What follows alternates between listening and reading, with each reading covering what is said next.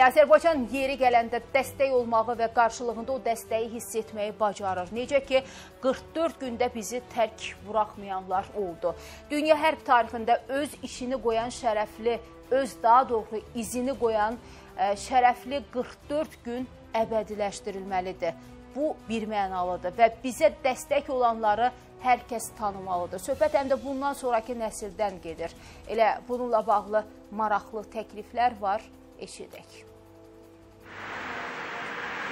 Meyarımız bizim 44 günlük savaşdır. Orada kim bizə dost olubsa, demə bizim dostumuzdur. Kim ki o dostluğunu göstərmə ə, cəsarətini özündə tapmayıbsa, demə biz ona istər, istənilən səviyyədə güvənə bilmərik. Ona görə də hesab edirəm ki, Bakıda salınan parkların, böyük parkların birində birinə ə, Türkiyə, İsrail, Pakistan və Azərbaycan Dostluq Parkı adı verilməlidir və orada da bu ölkələrin bayraqları dalğalanmalıdır.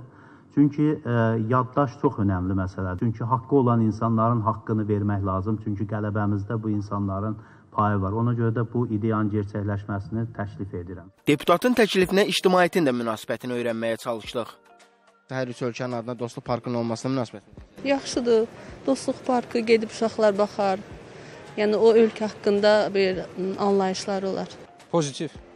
Olar. video rolikləri olsun, plakatlar olsun. Hər şey parkın içində uşaqlarımız da böyüyəndə bilsinlər ki, bax keçmişdə nə olub. Maraqlıdır. Bakı şəhər icra hakimiyyətinə indiyədək belə bir təklif və müraciət edilibmi? Aparatın ictimaiyyətlə əlaqələr sektorundan bildirildi ki, bu yöndə şifahi formada istəklər çox olsa da, rəsmi müraciət ünvanlanmayıb. Sadalanan bu və ya digər təkliflərin reallaşması üçün dövlət qurumlarının qərarı olmalıdır. Belə bir qərar qəbul edilərsə, Bakı şəhər icra hakimiyyəti üzərinə düşəni əlbəttə ki, yerinə yetirəcək.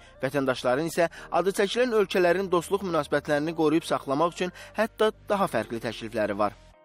Sizin ağlınızda bu üç ölkə ilə bağlı ölkədə hər hansı işlərin görülməsi məsələn ağlınızda var, təklif eləyərdiniz?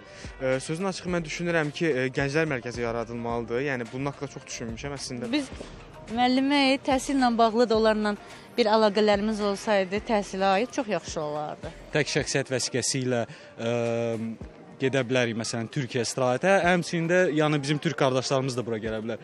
Pakistandan da eyni bir şey eləyə bilərik.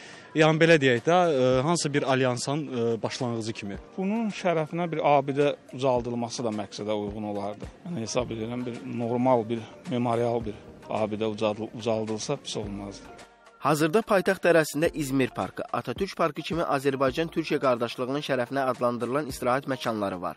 Amma dörd dövlətin dostluğu Türkiyə, İsrail və Pakistan Vətən müharibəsində Azərbaycana dəstəyini ifadə edən parkın salınması yaxud digər istəklərin həyata keçirilməsi üçün real təklif və bu təklifə əsaslanan qərar olmalıdır.